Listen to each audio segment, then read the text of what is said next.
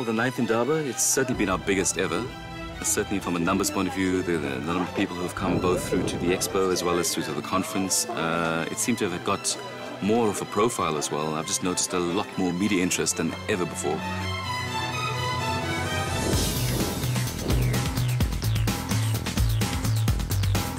Carbon Standard and Design Indaba was a perfect fit. I mean, if you look at what Design Indaba is all about, it is about providing a showcase to the world out there.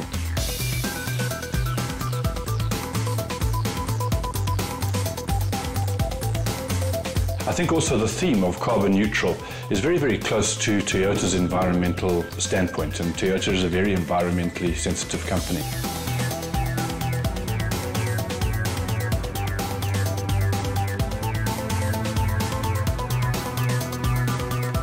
We're certainly very proud as a South African company to be associated with the Design Indaba.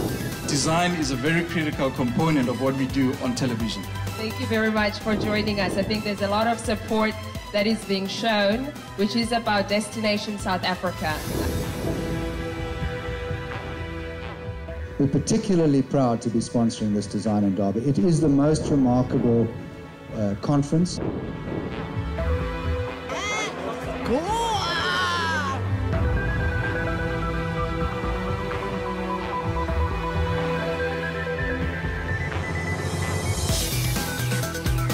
Well, I think the best thing about Design Indaba is that how it's become a platform for the creative industries in South Africa. And it's really, really brought a halogen spotlight on this entire industry sector. It's really, really helped to inspire and it's really helped to corral the industry together. South Africa is once again in the world spotlight. International and local creative industry gurus have gathered in the mother city, Cape Town, for the ninth annual Design Indaba taking place at the convention center. We didn't want to launch at any other expos. Our mantra always at Design Dub has been we'll collaborate today so that we could compete tomorrow.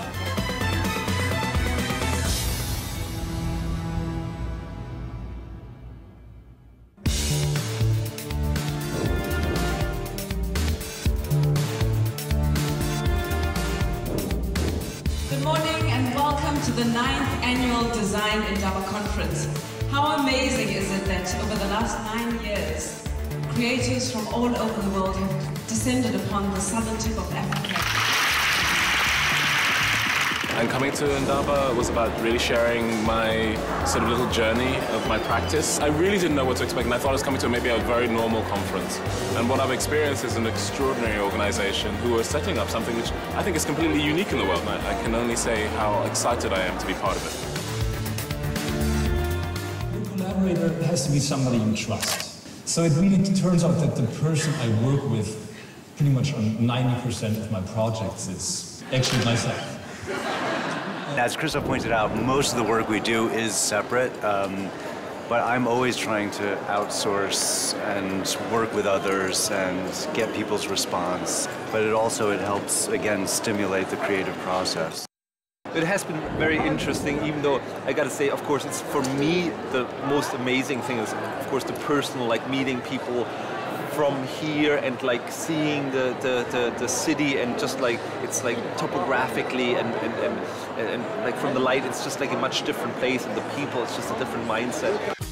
It's only my second conference in 20 years. Normally I shied away from it, so Robbie did a good job of convincing me. The simplest, smallest of objects, or the most complicated, the most complex machines man can make. 髪の毛はこのように納品されてくるんですねいろんな色があります I think the, the uniqueness about the design Indaba is that it's, ahead of the world curve in a way. People these days are understanding that great ideas don't live in prepackaged places. And what this in Indaba does by bringing different disciplines together is we feed off each other. So as individuals we'll get better, but in the end the cumulative effect is going to be massive. This is a fabulous group of speakers and, and a very sort of energized design community as a whole. Oh, I've always been much in favor of working with your roots. Every speaker of value, and most of them are, um, prove us that uh, wherever you come from, you need to embody what you know what that space is. Collaboration in any any sort of context is beautiful. Ferrari, Maserati, Lamborghini, uh, Bugatti. That list doesn't need a translation. I think Ferrari speaks by itself. non hanno bisogno di tradurre, non devo mica tradurre Ferrari. no, infatti. it makes complete sense that there's 2,000 people here in South Africa listening to design. Do you ever sit and think, wow, I've had an incredible life and I'm, yeah, I'm pretty cool? I'm always thinking uh, forward. South Africa needs to have a brand identity. It's about time. There was a lot more of this. We need more of this.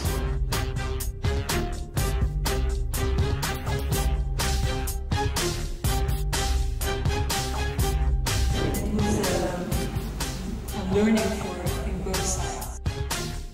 I think we need a bigger space. Maybe we can have more young designers coming in. Something as special in terms of a public place as our constitution was as a constitution. This, this, it also offers a lot of choices actually to see all these different people and get the chance to see what they mean and what they're interested in, what they're good at, what their handwriting is. We got a very good sense of design Indaba and I think it's a very successful design conference and we feel very fortunate to be here to have participated.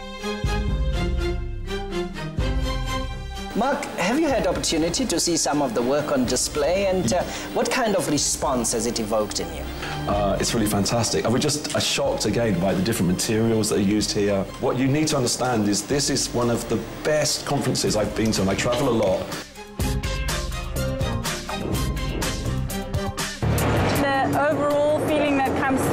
African design is ingenuity.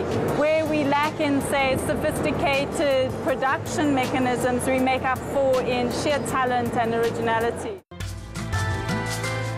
I'm absolutely amazed by the stands that the Expo exhibitors have put together this year, and all I can say is that I'm grateful and thank you. You've made a beautiful show. Given the, the amount of media and images and magazines and internet that people are bombarded with constantly, the hardest thing that anybody can do is to keep a point of view, a unique point of view. And that's what gives um, a designer an edge or a design company or a, a, a manufacturing company an edge, is a, a, specific point of view. Hello, my name is Katsutoshi Ishibashi. I'm editor-in-chief of Design Magazine Axis. This year, our magazine Axis became the media partner of Design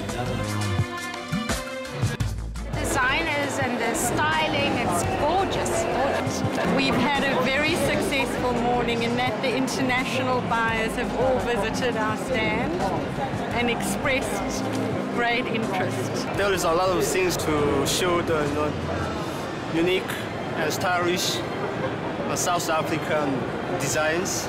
I enjoy to see them. First of all, I don't go to any fashion shows overseas, so it was really quite nice to actually see uh, three fashion shows I saw, uh, and I was I was really quite impressed. I was really quite impressed with the sense of talent. Um, I was impressed with what I saw on the exhibitions. Design Indaba has grown into the best design event in the world. Uh, we get uh, a wonderful city in Cape Town. It's incredibly important for us to continue to showcase South Africa. We have a huge suite of uh, great international speakers that, that come here. I think there's a lot of energy here and uh, just walking around the expo, there's a real vibrance of innovation and there's a real energy. Everybody here wants to be innovative. They want to be avant-garde. But yet what I've noticed, there's a real respect of tradition and elements that reflect this country, basically. Not forgetting the beauty of the country that they're working for and within.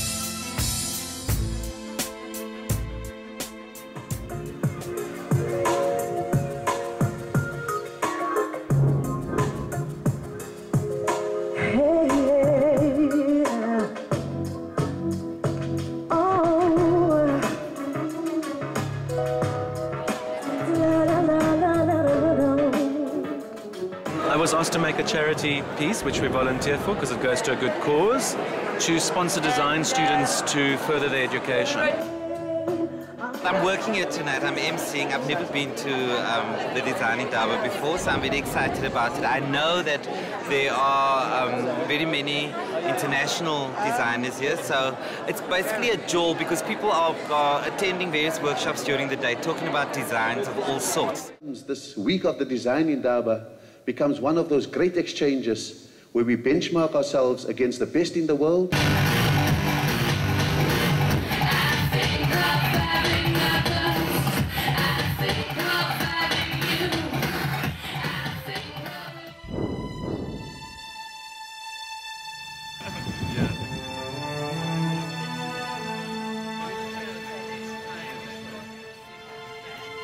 In this case, it really felt like design was driving the conference.